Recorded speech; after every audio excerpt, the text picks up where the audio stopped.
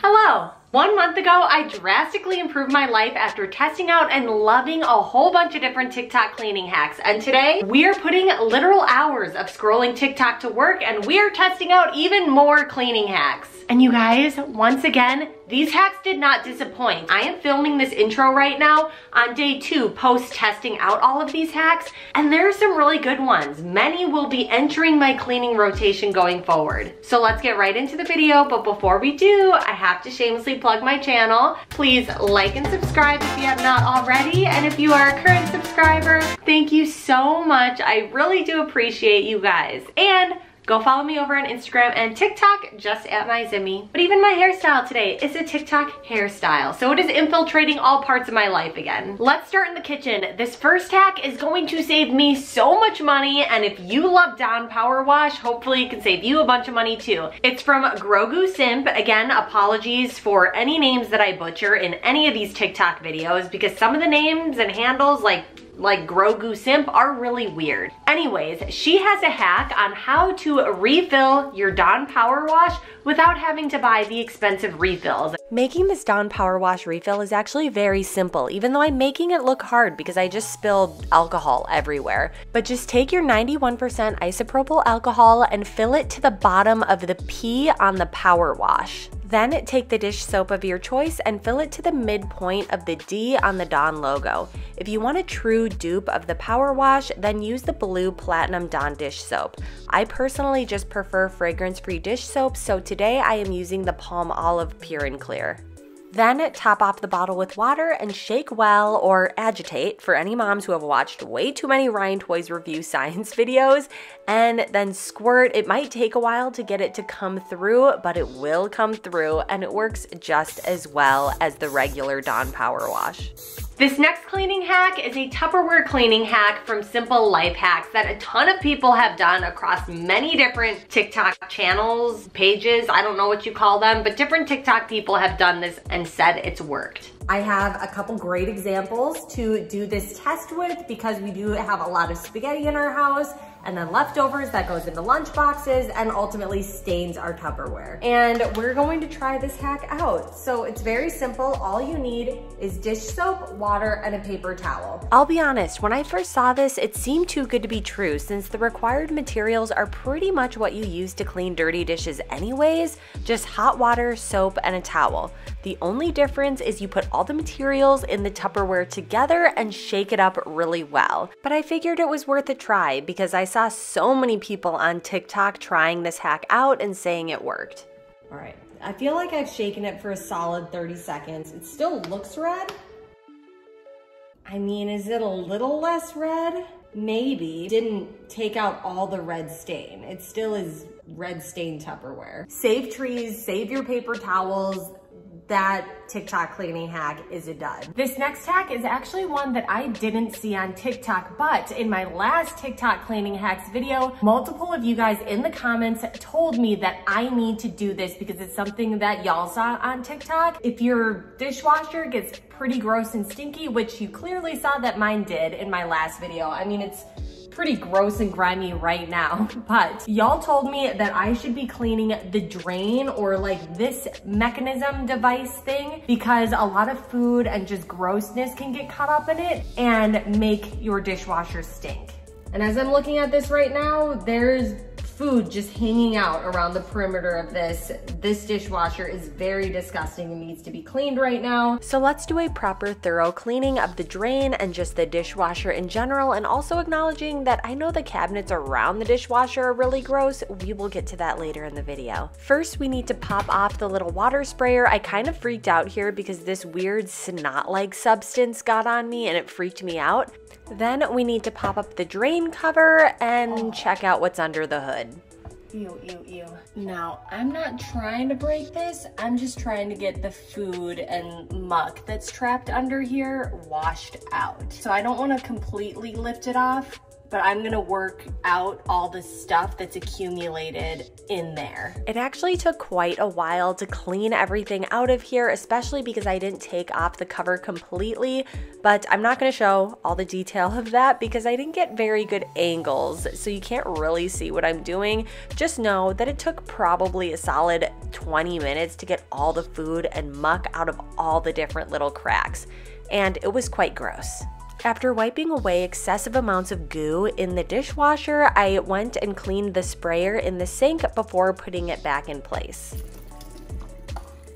All put back together and looks so much cleaner down there now. Now I just have to actually clean for realsies this machine because it's still dirty. In my last cleaning hacks video, I learned that you can put a cup of white distilled vinegar in the top rack of your dishwasher turn it on on the sanitize cycle and then it will come out sparkling clean. And I think it actually worked really well. This time I got a dishwasher cleaning hack from Carolina McCulley and she put two tablespoons of citric acid in her dishwasher, cleaned it on the quick cycle, and it looked really clean. So I'm trying that out to see if it works better than the distilled white vinegar. I'm putting it on the sanitize cycle because anytime I clean my dishwasher, I always like to have it completely sanitized and a few hours later, it looks just as clean and nice as when I use the distilled white vinegar. So I guess whatever you need to use up more, they both work great at cleaning out your dishwasher.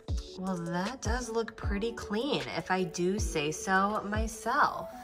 I, I, thought that was food for a second. It's just a bolt. This next cleaning hack is going to have me feeling like an idiot if it works out because I make smoothies all the time and it's how to quickly and easily clean your smoothie or blender machine after use. So in order to try out this cleaning hack, I first am going to make myself the knockoff matcha frappuccino from Starbucks using my own little concoction. I use the same amounts of everything, just different ingredients. So first you add one cup of ice and then one cup of whatever milk you want to choose. Hello, voiceover my here, wanting to note I do not drink this milk anymore because I realized it was giving me a belly ache. I am back to coconut milk now.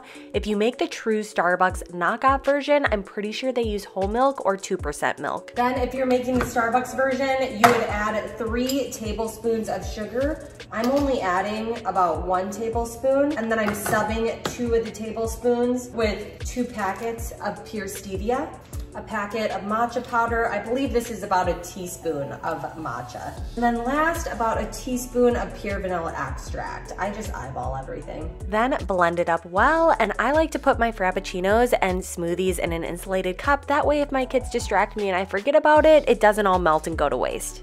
I am making an absolute mess. Good thing this is a cleaning video. Like, what the hell is wrong with me? We'll clean this up before it becomes a sticky mess because it's all over the cabinets and floor now, but it tastes good. So good. Now, this is where the TikTok cleaning hack comes in. Generally, I would throw this in the dishwasher and half the time, depending on what the smoothie is, it never gets fully clean. This is an example of one that I had just thrown into the dishwasher and like there's little just leftovers from the smoothie that never fully get washed out and it's so annoying. So the TikTok hack is just fill this with water and a drop of soap, put in water. I'm just gonna put in a spray of my power wash that I just made. Then you just blend it again for, I did about 10 seconds here and rinse it out in the sink and it is sparkling clean. I'm going to do this forever now, especially when you compare it to the job that my dishwasher occasionally does, which is not completing its job fully. It's still a mess. Next TikTok cleaning hack is a super affordable Dollar Tree one. So you're gonna wanna go to Dollar Tree, buy this stick thing for a dollar, then buy this attachment for it for one dollar. Take off the packaging. screw it together, and boom, right here is a $2 mini Swiffer. And then they also sell all these really inexpensive $1 attachments to go along with it. If you already own the Swiffer and you don't want to accumulate more and you just want to use these fluffy duster heads, Angie Batis shared that you can secure it to the Swiffer with just some rubber bands, put the microfiber fluff over it, and then it works just fine. So this has Velcro on it and it just Velcros into place. So I wanted to try this out on my cabinets. I saw multiple TikToks where people were using these Dollar Tree floor items and they didn't use it on the floor. They used it to clean cabinets, windows, anything and everything. Also, I don't know if you can tell, like this table is really dirty. There's like crap all over it. My house isn't clean 100% of the time. Actually, it's mostly not clean unless I clean it and then my kids destroy it two seconds later. But big breath. I'm still recovering from the Rona right now. Um, so sorry if this video hasn't been as high of energy. I'm really trying right now, but I don't know if you can tell. I'm struggling to breathe and I'm getting sweaty just sitting here talking. Anyways, if you've noticed the background of this video, it's pretty messy in the house because I have done little to nothing for the last week and I'm just getting back to cleaning now. So let's get to it. Supposedly the beauty of using these for things other than just the floor is you don't have to get on your hands and knees to clean everything. I have not used this pad on anything other than these cabinets right now. And I'm just gonna spray down the cabinets with this wood cleaner and see how it works, not having to get on my hands and knees to clean everything. Okay, the cabinet hack that I saw this on, they had modern flat cabinets. It didn't have all these nooks and crannies like my cabinets do, so this isn't working out as great as I originally thought because you can't you can't get into the these corners with this device. Also, not to mention these lower cabinets are really freaking dirty. Between being next to the dishwasher and getting the splash over from that and being at a level where my kids can rub their dirty little hands all over them, I needed a little more elbow grease on the lower disaster cabinets to get them clean. So I'll show you my little hack that I use to get crusty food off my cabinets without scratching them, and then we will revisit the Swiffer knockoff hack on the upper cabinets that aren't so crazy. There's a lot of crud that gets on my cabinets from my kids, and I use this little just plastic scraper thing whenever I'm trying to clean up the cabinets or the wood and I don't want it to get scuffed up because, I mean, for obvious reasons. But this little plastic scraper thing is great at getting off all the weird food and stuff that my kids put on the cabinets without actually scratching my cabinets. I think it's like $5 on Amazon. I'll have it linked below. It's the brand Lodge. But yeah, it's just this plastic scraper that works great. It's intended for dishes, I believe, but I use it all the time on cabinets and things that I don't wanna get all scratched up, but they're really freaking dirty. As a grown person, you sometimes forget like just how dirty the lower cabinets can get since it's not at your eye level. So I just did this process with all my lower cabinets, scraped off all the food and then polished them up. And now we're going to move to the upper cabinets that aren't so crazy. Okay, so on these upper cabinets here, they're not the cleanest because I never really clean them, but this is a good opportunity to use this because as I stated before, I'm still recovering from a very not fun illness. And I'm not gonna be climbing all the way up here trying to clean every nook and cranny of this cabinet, but it does warrant a quick wipe down. So I'm just going to spray this with the wood cleaner. And then, oh, this is awesome. I'm just gonna do a quick, quick surface level polish, just so that the upper cabinets can at least look nicely polished like the bottom ones. I was elated with this hack in the end. It was so easy to just spray the wood cleaner right onto the cleaning pad and then do a surface wipe down of the cabinet so that they looked nice and polished and it in the end actually got a lot of dust off.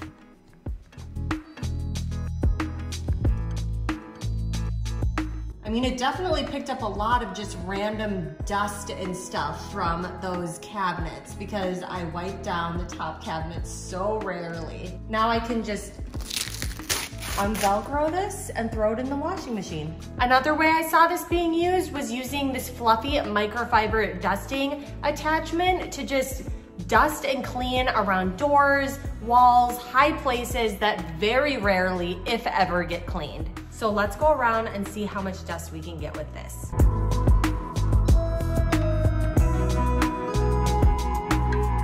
It's got a little dust. Overall thoughts for $3, this is quite effective and it did pick up a lot of dust, but the Swiffer Duster ultimately does work better, it just is more money.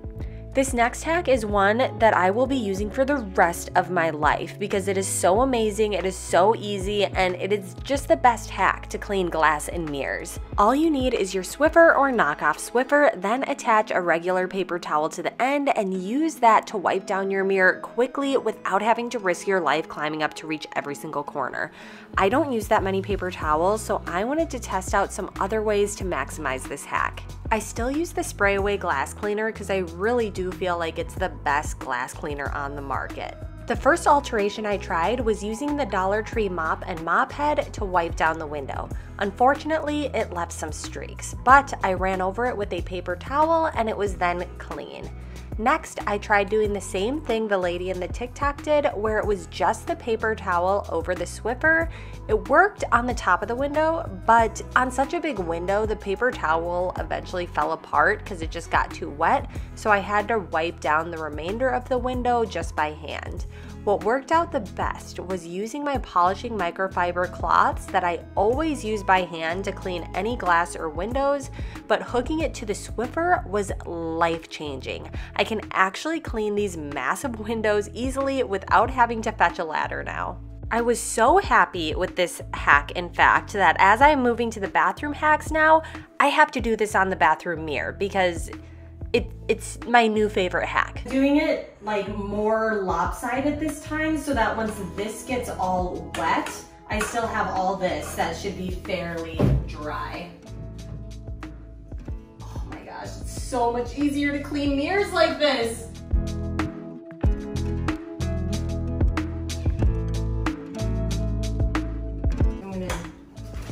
Shift it so that it's the dry part again and then just do one quick little pass. I mean, I don't see any streaks really. Maybe right here. Oh my gosh, I think that's the fastest and easiest and least sweatiest I've ever cleaned this mirror. And you may not have been able to see it, but it did a good job at getting all the toothpaste crap that was hanging out right there off. Speaking of toothpaste, I really am interested to know y'all's opinions on this next hack. Please let me know in the comments below. But if your kids make an absolute mess in the bathroom with the toothpaste, I mean, really no fault of their own, their hand eye coordination is just not that great, but it's very, very messy as you can see. Did they put in this cap? It looks like they lined it with diaper cream? Anyways, in this hack, if you have a thicker toothpaste, you liquefy it a bit with mouthwash till it's more of a hand soap consistency. Then you put it in a soap dispenser and it helps little ones not use so much with one controlled pump and it's ultimately less cleanup for you. I got this plastic pump from Target and this has actually been working out great in our house so far. I stuck with a plastic pump over a nice glass one because if my kids can't even handle a standard tube of toothpaste, it seemed irresponsible to replace it with glass. Not trying to create new problems here, but this plastic pump week one is working out great and right now you are watching me cleaning up a bunch of dried up toothpaste for the last time. And a hack if you don't want to do this super extra soap pump toothpaste thing is just use a magic eraser to clean up toothpaste around the sink. It works great. Next cleaning hack is the cleaning hack that started all cleaning hacks on TikTok, and that is putting a bottle of Fabuloso in the tank of your toilet. What the hell? Is this leaking already? I have stuff all over my hands. Anyways, this was the TikTok cleaning hack that I feel like started all other TikTok cleaning hacks. And that is putting a bottle of Fabuloso or Mr. Clean in the back of your toilet to help every flush be fresher. All right, let me, let me clean this. I know it's about to go in the back of this thing, but I still feel like I should clean it up and at least clean up this mess here. So all you need to do for this one is take off the back of your toilet all right, this is the dangerous part. I hope I don't get hurt.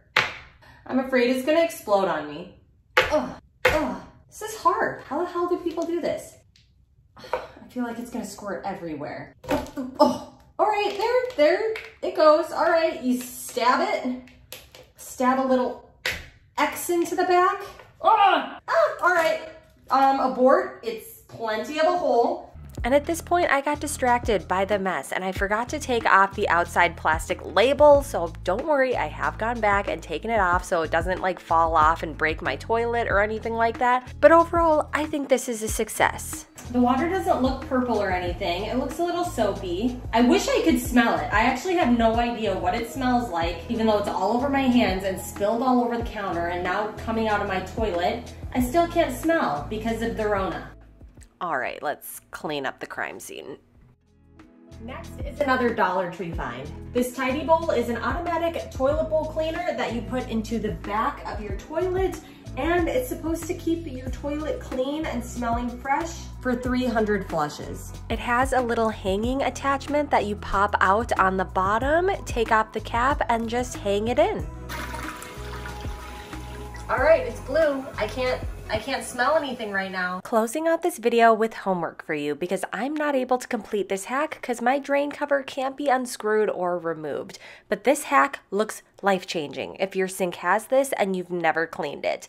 If you can unscrew it, I want you to go try this now and let me know in the comments below if it's clean underneath or as disgusting as shown here. I'm so curious about this. I wish I could do it. Also, if you ever see any great TikTok cleaning hacks, please feel free to share them with me. I love finding ways to make life easier. And if you want to keep hanging out, you can click on one of the videos floating over the screen at this point, and I will see you in the next video. Bye!